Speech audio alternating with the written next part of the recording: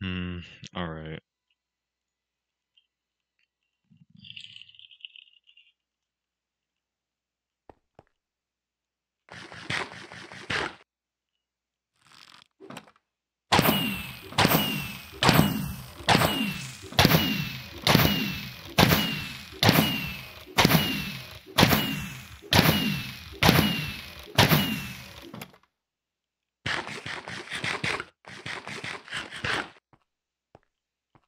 Yeah, it's pretty underwhelming. I'm very sure you can just chug apples straight through that.